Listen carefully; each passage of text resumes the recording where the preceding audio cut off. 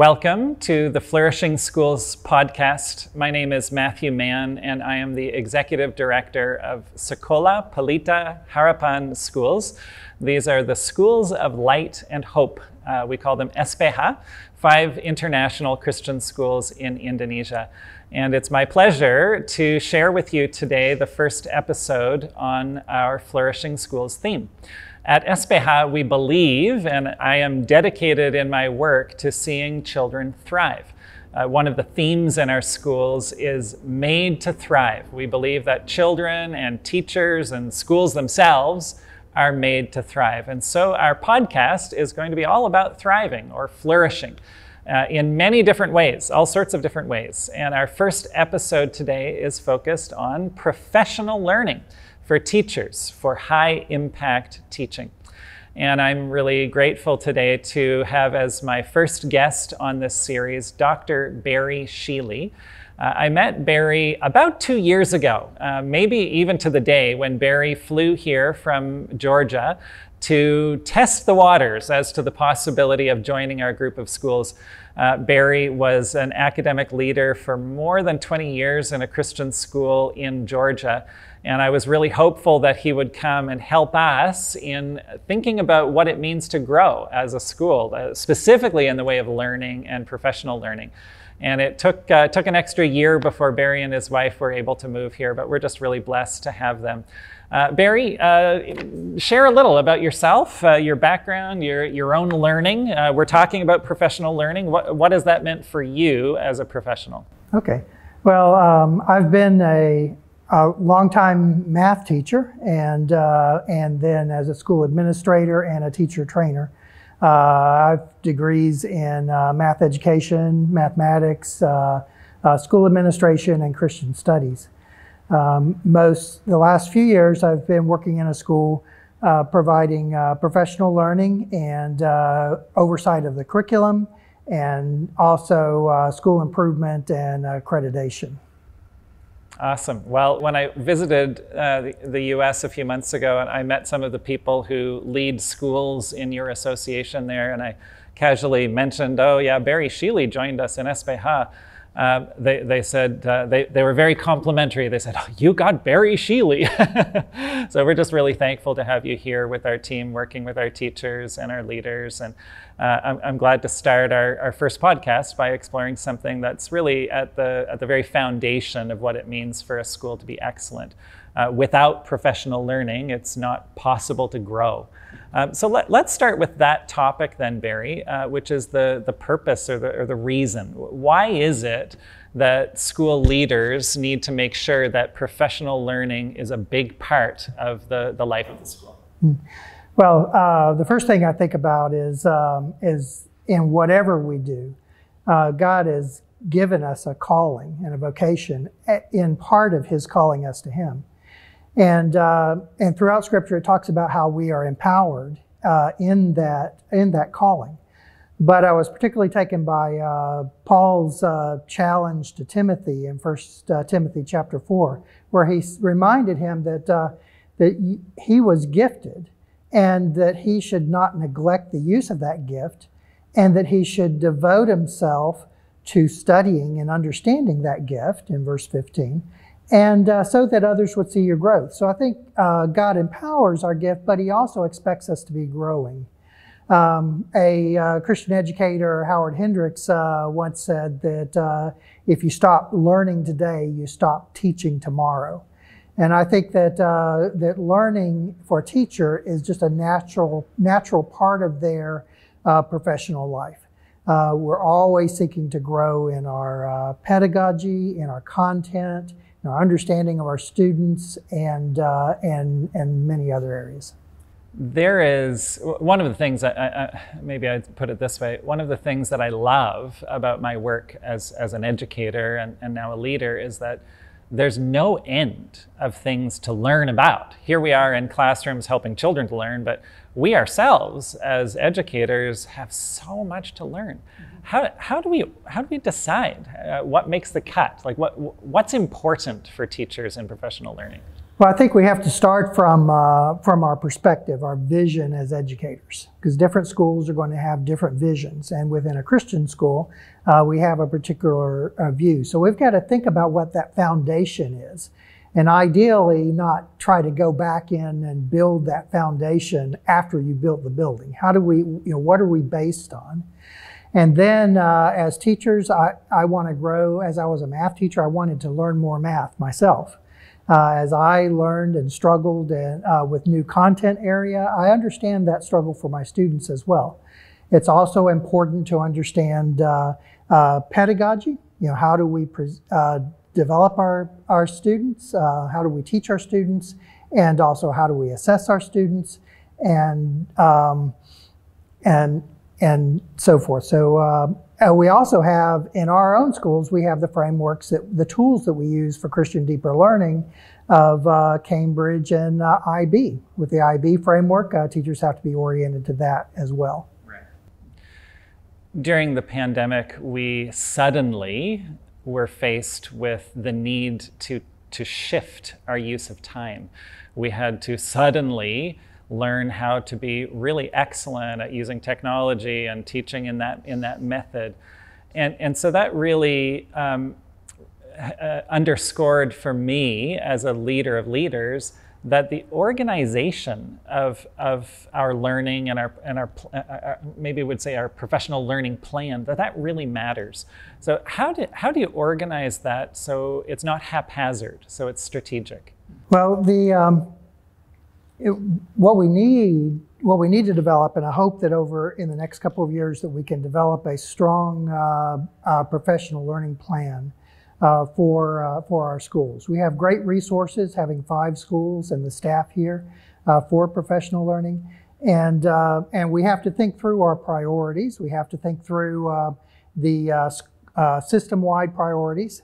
whether it's whether it's Christian education and what that looks like, whether it's in the case of the last couple of years, how do we deal with hybrid learning and online learning and use of technology?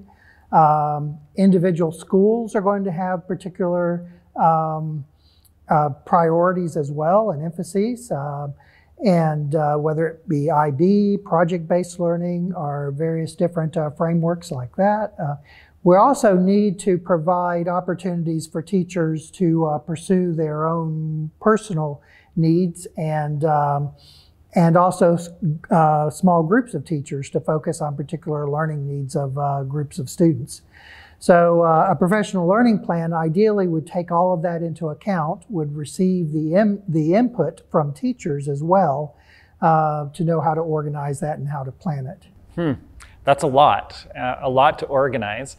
Is, that a document? Is, is that something where school leaders publish I don't know, a 10 pager or a 20 pager on this is, these are the priorities and this is the structure, the order. Is, is, is that what you're, you're, you're envisioning? I think it, uh, I think it would uh, greatly help to have a document that's a professional learning plan so that we can uh, continually go, particularly as leadership changes, as staff changes, we know how to uh, set those priorities, how to arrange it, what sort of uh, mechanisms we need and uh, and what sort of input we need. How do we gain uh, input from the teachers? Like, for example, do we have a professional learning committee uh, of teachers that uh, informs that as well?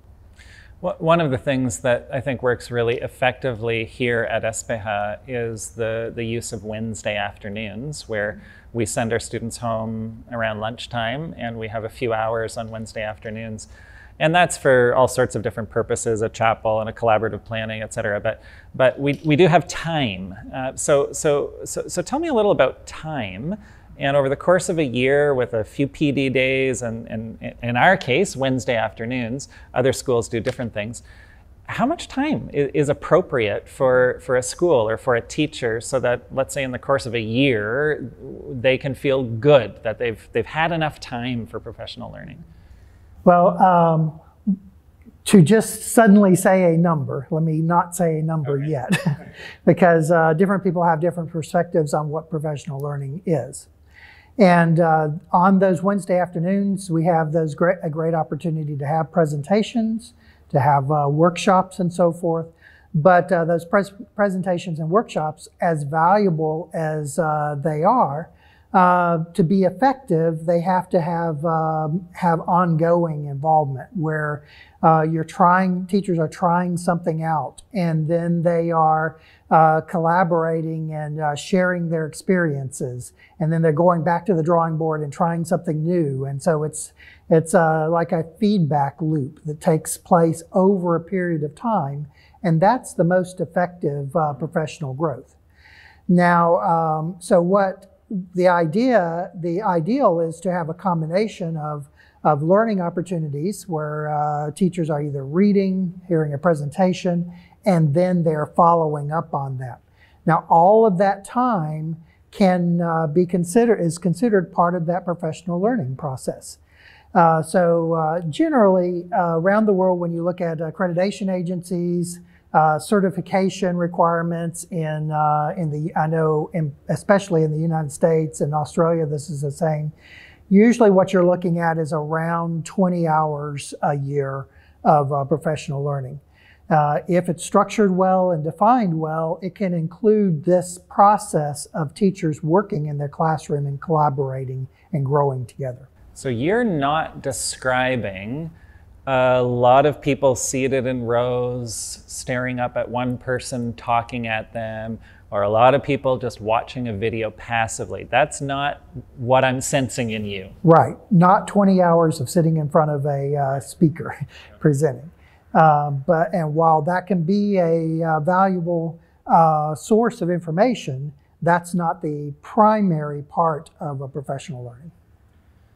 Another angle, Barry, on professional learning is new teachers, where in our case, we often, uh, well, every year, we welcome 25 to 30 new teachers. They're coming from other countries, most of them, some of them are very young. And there's a lot to learn. So, onboarding or induction of new people. Um, what are your thoughts about that? How, how, can we do that as, as Christian schools in ways that are, are uh, empowering our, our, new teachers to be successful? Right. So, uh, so that's always a challenge for every school.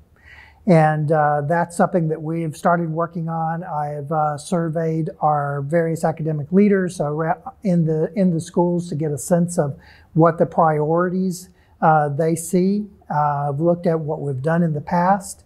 Uh, coming into any Christian school, a challenge is often uh, teachers may not have had experience in a Christian school before. And so understanding what, even if they are strong Christians, they may not understand what Christian education is about. So we've got to provide some introduction to that, some orientation to that. Uh, then the frameworks, the tools that we use for deeper learning here, like uh, IB and, uh, and Cambridge, we have to orient them to uh, to those um, those frameworks as well, um, and uh, and the ideas that they need to be thinking about as they plan instruction. If they're young teachers, uh, just out of their uh, professional development programs in college, uh, they need support to grow as uh, as instructors, as assessors, as coaches and helpers for their for their students. And so we're trying to uh, think through what can be done ahead of time as they're coming in. What in that whirlwind of that first week of arriving here in Indonesia, what that looks like, you know, what can we do that would be effective and would carry on, and then how can we uh, we uh, support them in their ongoing growth as they get started. And I'm excited on that point that this year more than before we will be giving guidance and opportunities for them to prepare ahead of time. Uh, we call it pre field orientation, where when they already arrive in Indonesia, they, they know something. It's not, it's not starting you know, day one uh, at the point of arrival. Uh, Barry, we, we, are Christian schools. That's integral, it's, it's essential to our identity. And we, that means that we need our teachers to understand Christian education. And in, in our group of schools, historically, we've actually had a program called Understanding Christian Education. And I, am really thankful that you have taken on the project of reviving and renewing that and coming up with a fresh version, which we're launching next week. Um, tell our, our listeners a little about your perspective on what Christian teachers need to learn um, a, a, professional learning program in another school wouldn't have, in a secular school, wouldn't have any of this content. So, what is it that they need to learn in order to be effective in, in a Christian school? So that's um, that's uh, something that every Christian school has to has to think about. And too often, when it's presented, uh, teachers, especially maybe experienced teachers coming out of a public school or a government school type of uh, set, secular school setting, um, they, you know, they have their vision of what uh, teaching looks like. And then when we start talking about Christian education, uh, often they see it as a bunch of things that they're tacking on. So it's more that I have to teach, uh, more things that I have to add on, and it can be really overwhelming. Uh, the best way to look at Christian education is as a foundation or a, uh, a worldview that, uh, that our teaching, everything we do, grows out of. So we look at uh, our purpose of education, the vision that we're trying to create. We're trying to craft a vision in our students' minds and lives uh, for what they're going to do when they, when they finish their schooling. Uh, so uh, that purpose of education, that vision we're trying to cast, uh, is an important part of that. And then as teachers, we have to understand uh, the nature of the learner. You know, who are these uh, little people or big people uh, who are sitting in front of us? how do we understand them? How do we understand how they, how God's designed them, and what implications that has for how they grow? How do we understand our role as a teacher? Um, from a Christian perspective, uh, there there are ways that we can think about who a teacher is and what a teacher does and what a, how a teacher interacts with their students. Uh, we actually um, think about how we craft our instruction. Uh, we want instruction that engages students, that um, that challenges students, that gets students to look beyond themselves to something bigger. So, how do we craft those classroom experiences. And there is a Christian perspective on craft, crafting instruction and assessment.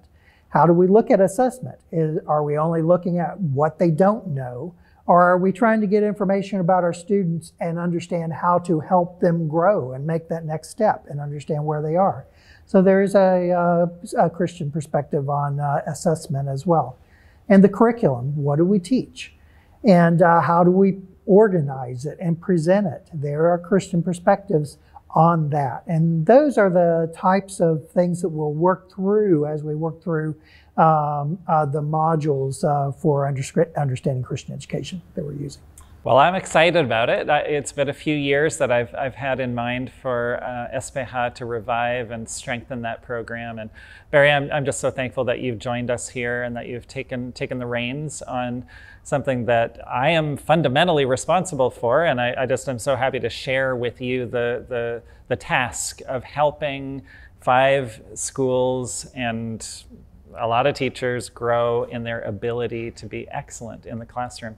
I'm looking forward to that journey together as a group, and, and I'm uh, excited about our Flourishing Schools podcast as we begin uh, episode one this, uh, this time with a focus on professional learning for high impact teaching.